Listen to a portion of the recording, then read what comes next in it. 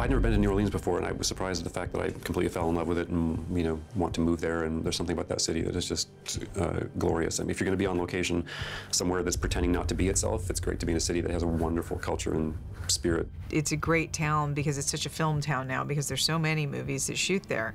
So you actually want to work hard to make sure that you have a distinctive look. And found, you know, a combination of incredible sets that Neil built on our stages, that many of which were out at the NASA site, and then practical locations in and around town. Especially 1980s downtown Los Angeles, downtown New Orleans is kind of stuck in another time period, so it actually looks more like downtown LA than downtown LA does today. So that worked really well. There wasn't a ton of location work, there was a lot of outdoor work, but it was more like parking lots.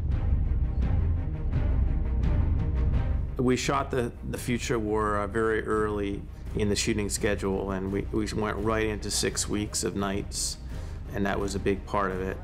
And we shot in this giant part of the port of Orleans, and the set was about a quarter mile long. So we had an enormous moon box suspended by a crane enormous set pieces that Neil designed sections of the wall of the uh, future war camp. There were glimpses of the future war in Cameron's first two movies, and he was a, such an efficient storyteller that he did very little there. He also, I think, wasn't trying to spend money where he didn't have to spend money. I was excited that we got to develop some of the things he'd already created. There's, you know, wonderful weapons like the hunter killers and the spider tanks that are all very cool, and we got to do our versions of those. We got to actually spend time, you know, with some gritty, you know, full-on, full production of what it would be like to be in that kind of battle. There was so much pyro and atmosphere uh, and extras and uh, yeah, endoskeletons. We uh, flipped the goer truck in that scenario. That was actually the second unit that actually flipped the truck. It was a big handoff between the first unit and the second unit, but all the things with the actors leading into and coming out of each stunt or event was shot by the first unit. It was a real close collaboration between the art department and the lighting department and everybody else, you know, stunts, effects, pyro, actors, directors basically D-Day, and you see literally the resistance throw everything that they've got at Skynet, and it is a massive battle, and it is the biggest future war sequence that has been in a Terminator movie to date.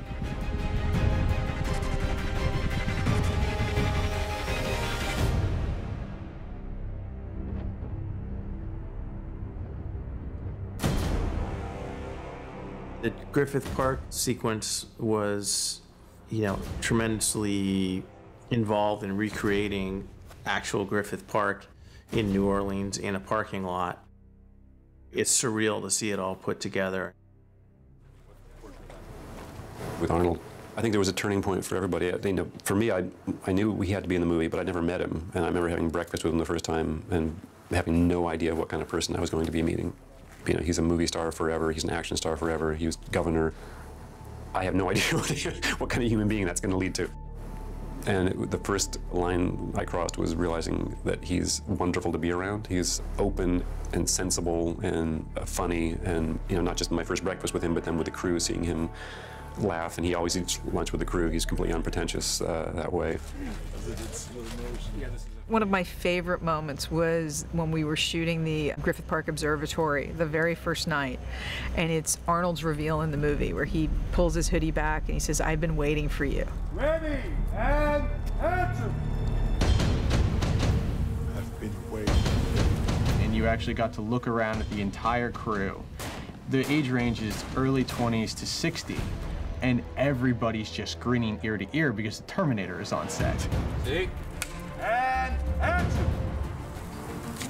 I've been waiting for you. It's the thing he was born to do.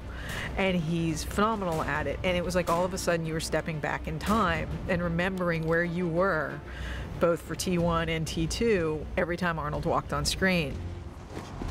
I've been waiting for you.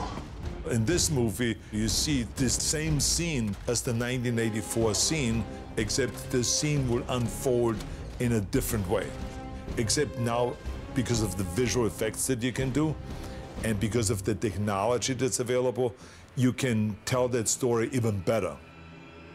What was really challenging about it is the Guardian in 1984 is, you know, 20 plus years younger than Arnold himself. We actually scoured the earth to find basically a bodybuilder by the name of Brett.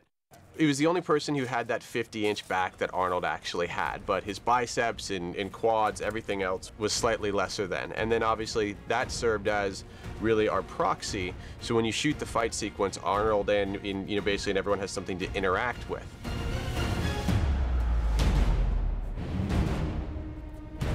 It's wonderful. You know, to me, it reminds me sort of of the encounter between the T1000 and Arnold in T2, where they first face each other, and there's something just fun about watching these two things that have the massive Mack trucks going at each other.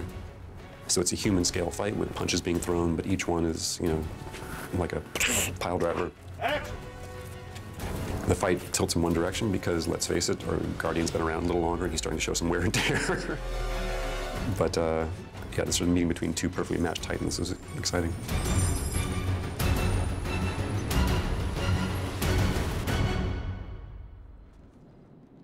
One of the things we said as we were developing the script is we'd love for people to think, up until they get to the moment that Kyle Reese returns to 1984, oh my God, are they really just remaking the first movie but with a bigger future war sequence? Why would they do that? And the reality is, we're not. But we are pretty meticulously are recreating that initial 1984 sequence. Again, it's not a shot for shot remake, but there's definitely a lot of homage. Three, two, one, go! Come with me if you want to live. Sometimes we felt like, oh God, we have to shoot this way because look, that's how it was done before. Um, we had to find the right balance of how much we were recreating them exactly and how much we were sort of doing our versions of them. Um, but it was fun to do that, and it's been fun to watch audiences respond to them, especially you know the fans that really get them. And occasionally we go shot by shot, you know, to the original movie, and feeling the fans react to that has been really fun. Because you know the broader audience may not understand exactly what the reference is, but the fans, there's a wonderful sort of laugh you know, that you feel in the audience. Set and action. Three, two, one, go! Come with me if you want to live.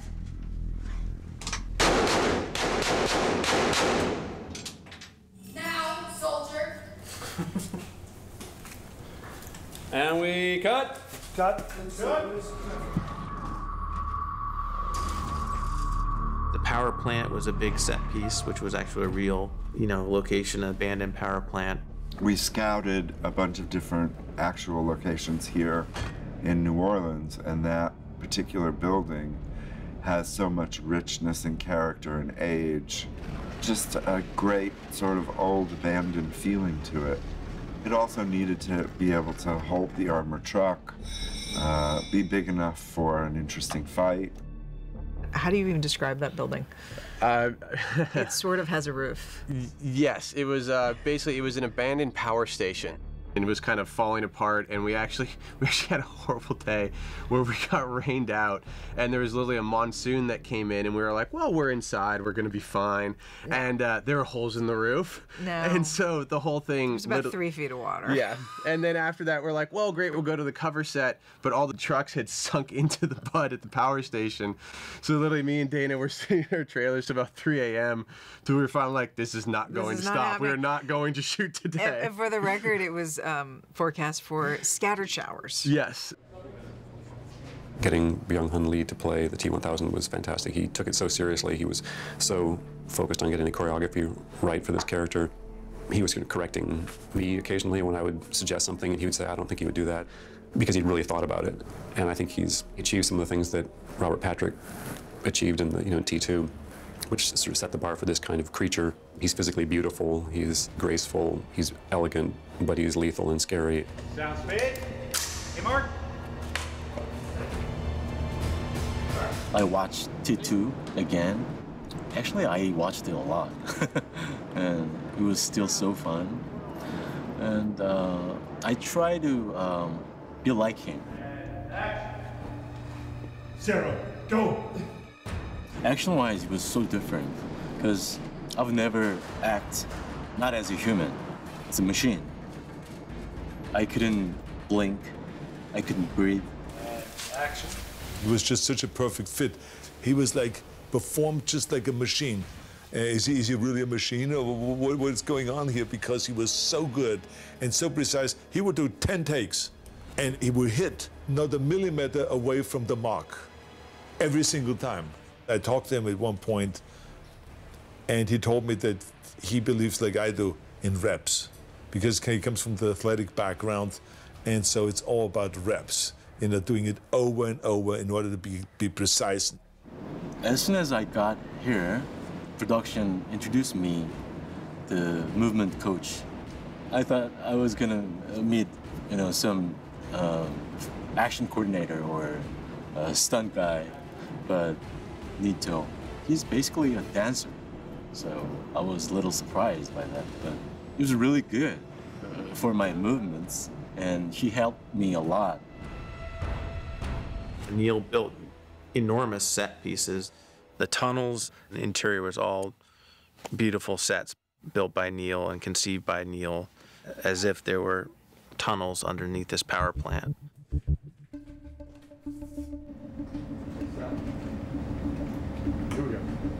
And action. So you set a trap. Had to.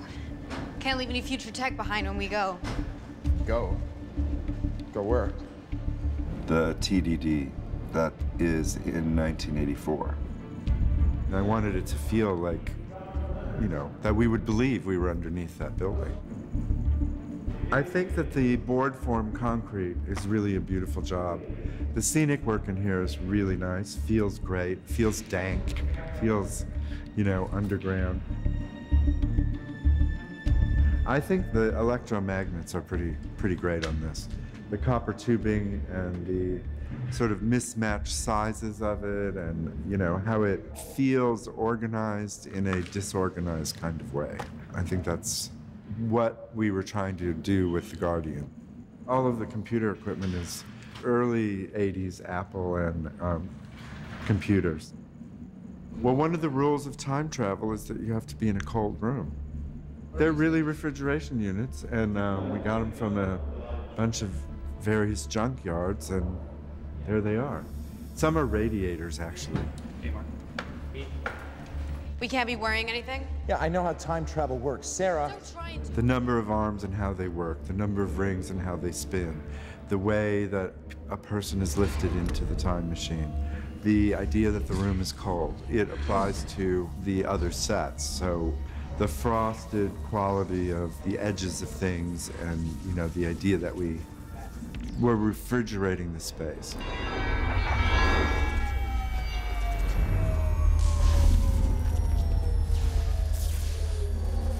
In regards to really being a, a film friendly town in New Orleans.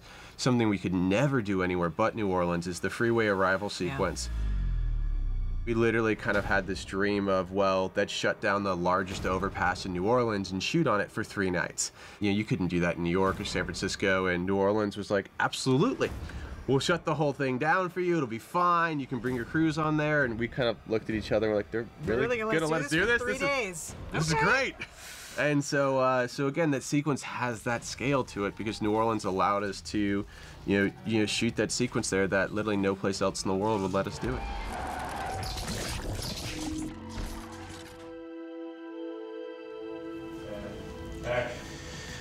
All right, let's go. I'll get us out of here. Stay close. Wait. We all know they can shapeshift. If you are John, prove it. Sarah! No, no, no, no, no. She's right, Kyle. She is. Jason Clarke playing John Connor is an incredibly dynamic actor, and and that's what this this particular version of, of John Connor really requires. Jason is just so intense in his portrayal of John that it's much less about gunfire than it is about the physicality of what he created because it's not quite human. And it's sort of the power of charisma, and you see that Yeah. in the beginning. The charismatic leader, who, who, you know, what what happens if you take a Messiah and you push him, you know, you let him fall from grace in a way that uh, inflicts him to be on the other side?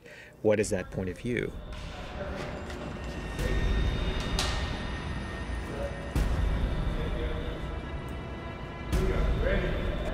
action. John! Well, I always look at a character from, you know, what he's doing is right in his own mind. And, and you know, I think John, John's agenda and his decision about what's happened to him is, is very justified.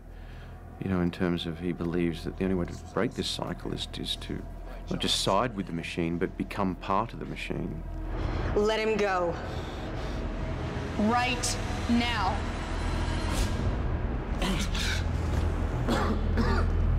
He truly believes that this is the way ahead, and he would like to take Sarah and Kyle with him, you know? But we all have to make our own choices. I'm not machine. I'm not man. I'm more. What do you want from us?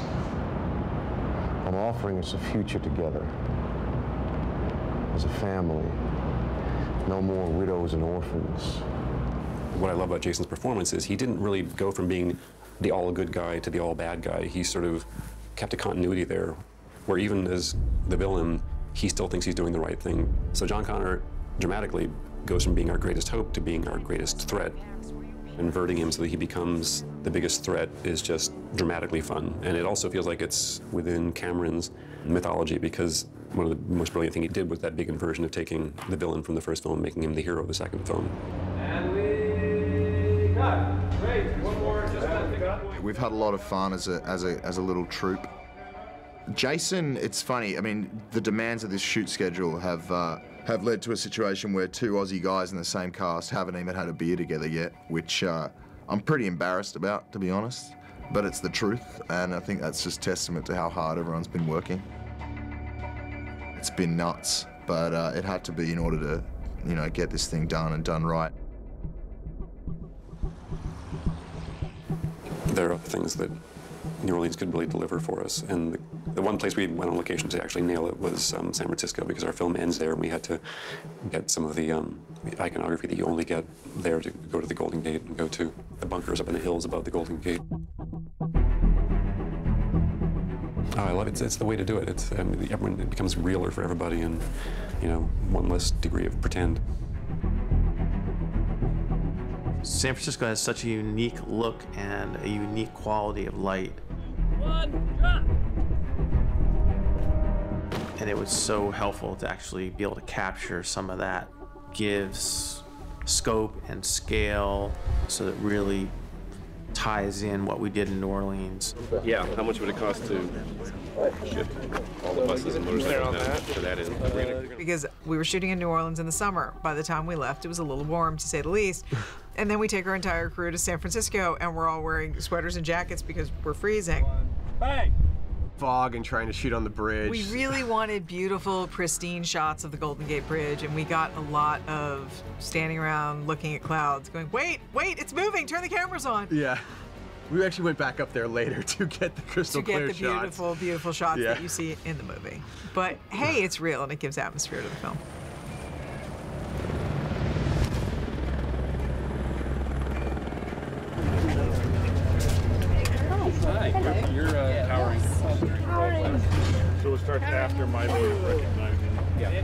Alan Taylor is is um oh he's just so good. he's just so good.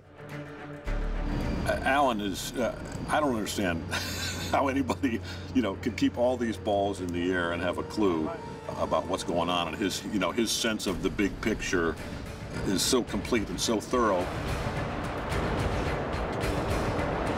Hang on! He's a very smart man.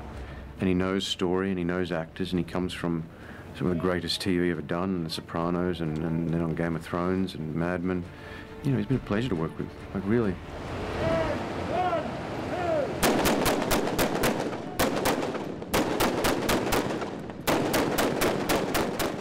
The great thing about Alan Taylor is he doesn't get intimidated.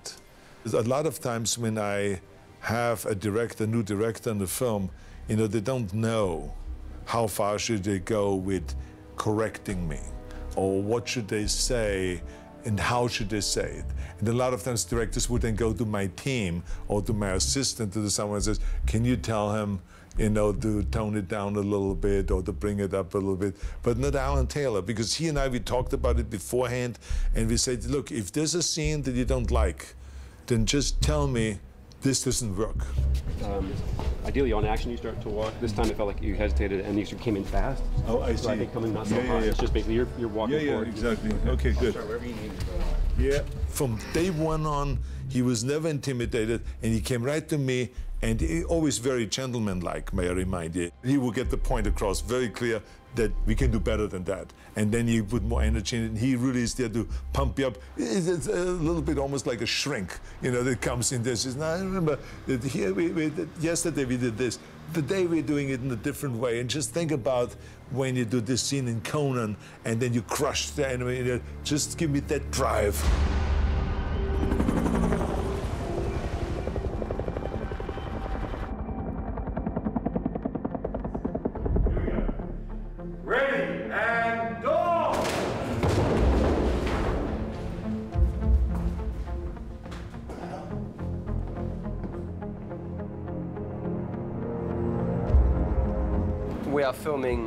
NASA, where you need about a zillion passes to get in.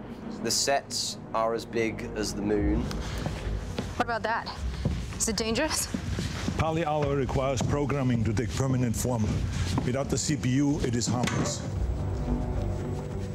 The whole concept of world building and visual design was very much a close collaboration between myself and Neil, the production designer. There's a lot of discussion about how we would incorporate lighting into his sets because there's so much technology and light.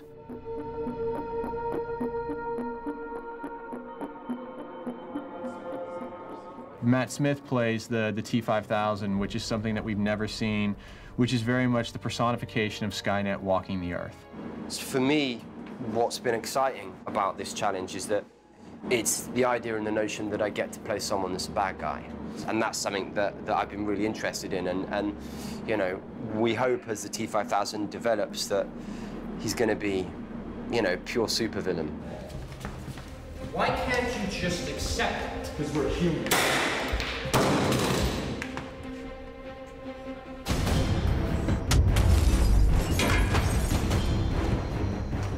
Final battle sequence in the third act is epic. Good versus evil and technology versus man and a huge amount was shot by the second unit. People often ask me when I work on a movie like this, oh, was it all blue screen? Was it just, you know, Action. and it's not all blue screen. I mean, there's, you know, a huge amount of blue screen that we do, but there's also a tremendous amount of in-camera photography. Action.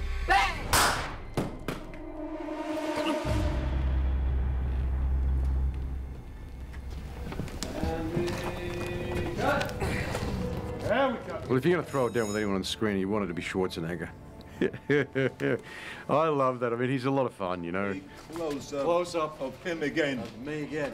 And he's still in shape. I mean, he's just, he's a strong dude. And he knows what he's doing. I mean, he's got so much experience with fights and on film. One. Action. Well, you only get to do this kind of action on a big budget film. I mean, lots of, you know, suspension, ropes, pulleys, and all that, but not just in a basement. I mean, some of them have very complicated setups and ups and moves, and you know, just use them just for a big wild swing, but just a little bit here and pull there.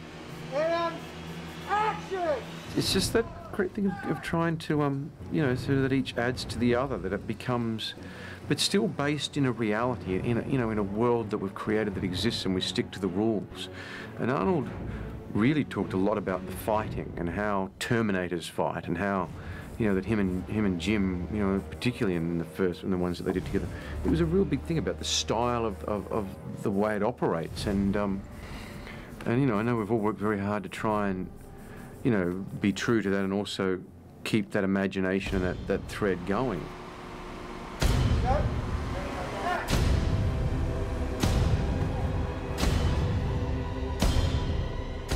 When you see the final product, no matter how much you've thought about what it's going to look like in the end, it's always, you know, a jaw dropper to see a set that's been fully extended and executed and all the different CG elements that are in there. You're just like, wow.